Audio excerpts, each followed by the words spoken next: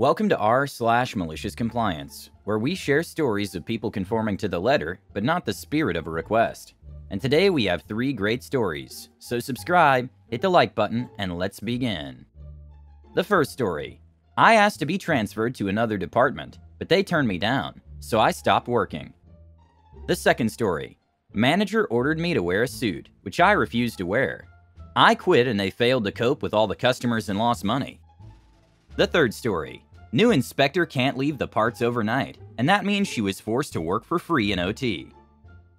The first story is Can't do anything without a medical reason. A few years ago, I worked under a terrible boss whom I shall call Tiff, because of all her tiffs. Unfortunately, I'm not exaggerating when I say terrible. She had HIPAA violations on record. Edit C note. Writing people up for stuff that she told them to do. Writing them up for things that happened when they weren't there changing people's schedules with no notice, and then getting them in trouble when they didn't show up for the changed schedule, trying to write people up for using FMLA, the general yelling and petty bullying bad managers do, the works. Senior management knew about all this and aided and abetted her. Anyways, after being hauled into a meeting with her and a senior manager where she lied about me and did her best to paint me as lazy and a generally terrible worker, I'd had enough. I went to the other senior manager, who shall be called Spineless, for reasons you can probably guess and told him that I couldn't deal with this anymore, and I had to be transferred to another department in the store. I had experience in a few other areas which were in high demand, so it wouldn't be hard to find a place for me. It would just be hard to fill my spot in the bakery, especially given it was late in the year and we were always incredibly busy over the holidays. Spineless said no. Well, actually, he said that he'd see what he could do, but it wasn't likely to happen because I was too important to the bakery to lose. I pointed out that it was so stressful that it was affecting my health, and I really couldn't continue. If I had to, I was going to be calling out. He still said no. We can't do anything unless you have a medical condition. Now, see, I knew what he actually meant was that there was no way in hell they were actually doing anything, so I should just shut up already. Unfortunately for him, I don't like subtext like that, and I didn't feel like dealing with the mistreatment anymore. So I sat there for a moment debating, and decided to give him what he said he needed. See, I have a few medical issues that are annoying, but unless they actually keep me from doing my work, I think it's kind of a cop out to bring them up. But under the circumstances, management was being completely unreasonable, so cop outs it was. So I explained that I had an official diagnosis of anxiety, and due to reasons above, I couldn't work under her. Spineless kinda stopped and looked at me and said, Uh, okay, we'll see what we can do, but we'll need you to at least get through the holidays. I told him I would do my best, but I couldn't handle the constant threats of write ups, so he would have to keep her from doing and acting any disciplinary measures against me. He said sure. I also added that I really, really didn't want anyone else knowing about my anxiety, as I don't like my personal life being spread about. About a month later, something else happens where a bunch of cakes were ruined, and I was the last person who touched it. They were someone else's responsibility as soon as I was done with them. The other person just hadn't done their part, and Tiff was trying to get me in trouble however she could. Tiff hands me a write up to sign. I'm furious, but I carefully write down in the comments section that I have a medical condition interfering with my work, which I had already notified senior management of. Then I insist on having her give me a photocopy of it, which they're supposed to do but often don't. I heard from the supervisor, who was also present, that when she saw what I had written, Tiff had an appropriately shocked Pikachu face and asked if Soup had known anything about my mysterious medical issue. For once, Spineless had followed directions and not shared private information with the world. I probably should have just escalated to corporate at this point, but I ended up not. Just wrote a nicely worded letter about how I had requested ADA accommodations because anxiety technically can count as a disability. I had already looked it up, and they had done nothing. Stuck copies of the letter along with the write up and a note from my doctor in Spineless's mailbox and in the store manager's mailbox. I should probably point out that by this point, about four other people had left the bakery due to medical conditions, which were directly related to Tiff. They were legit medical conditions, but either exacerbated by her or used as an excuse to get away from her. So I certainly wasn't the first person to do this. Lo and behold, when you stuff enough legal terms along with relevant meeting recaps and dates into a letter, people do something about it. I had meetings with both the store manager, who insisted he had heard nothing about this, and Spineless, and they offered to get me out immediately but asked if there was any possible way for me to stay through Christmas, which was about two weeks away. I didn't really want to be working a different area when everyone else was already crazy busy with no time to catch me up, so I agreed under the condition that they changed my schedule so that I was not scheduled with Tiff at any point in time. And what do you know, they got me out right after Christmas. So yeah, ask and you shall receive, jerks. Hilariously enough, come February, Tiff went on vacation, and the bakery supervisor asked me if there was any way I could come back to help cover, which of course I could do. Figured I might as well stick it in their face that the manager was the problem, not the department. She soon transferred to a different store where she's no doubt still wreaking havoc. But I escaped with my sanity mostly intact, so it was a win for me. Edit. I was told by someone I would expect to know that it's a HIPAA violation when managers gossip and spread information about a medical issue, only revealed to them due to ADA requests and or discovered through the employee healthcare plan. I certainly could be wrong, but I know that it was a big enough issue that management from top down got a reprimand from corporate. The next story is Threaten my job? Thank you, I will. Bit of background. This happened in the UK in about 91 92, and I'm female. At the time, I was about 20 to 21. In the early 90s, I'd just come back from working overseas, and as it was December, I needed a job quickly, so I took one in a Turkish restaurant, relevant later. It was a waitress job, and I truly loved the job. The one other waiter was nice. The three chefs were great and taught me a few tips and recipes I still use to this day. The management, husband and wife, seemed okay at first, but typically didn't want to have to do anything except mingle and drink wine during service hours. Never once helping, but always quick with blame. A typical night myself and the other waiter, M, worked our backsides to the bone, and they'd just sit and watch and pester the customers.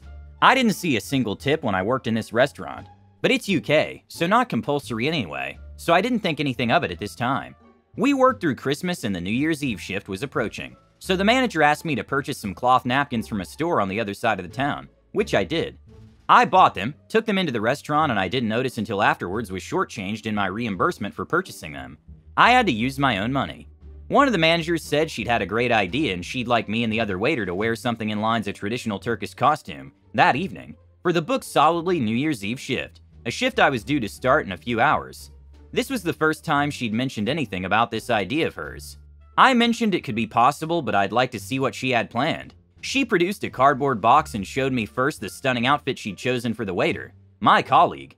I said it looked amazing and questioned what she'd chosen for me. Bear in mind I was very slim, about a size 6 to 8 UK, and about 5 foot 10. She produced from the box this very skimpy see-through outfit that would be more in place in a lover's bedroom. I asked her if she was serious. She said yes, to which I said I'm not wearing that. She then told me that I'm wearing it or I'm fired.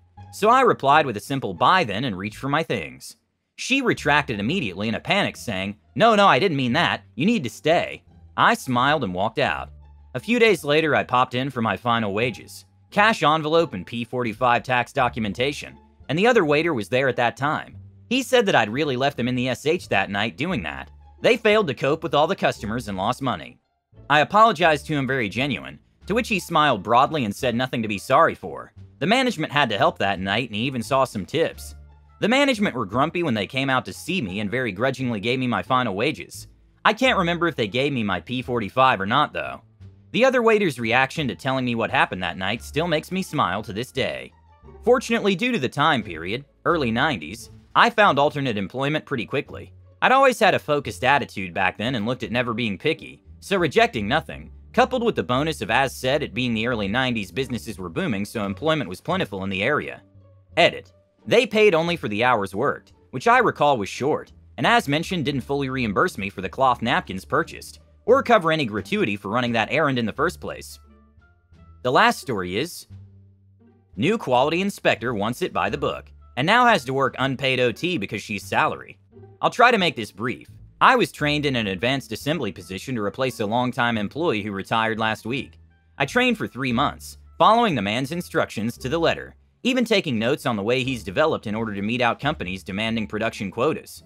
Last Monday was my first day officially in the position, and I felt I was doing almost as good of a job as he was. The way it works, everything I build goes into a 24 hour hold. When I come in, I pull them from the hold, clean them, and prepare them for shipping. So last Monday, I start pulling my 24 hour inventory and getting it ready for quality to final inspect before it goes to shipping.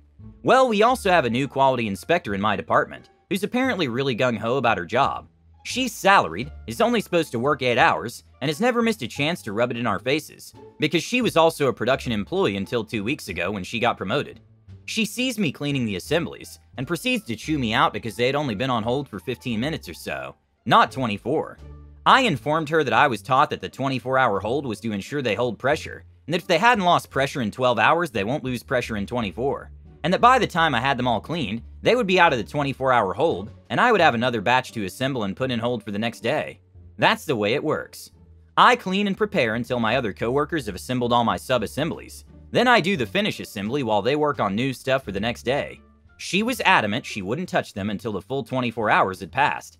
So she went and got her supervisor, my supervisor, and the engineering supervisor, who all agreed with me but could see her point.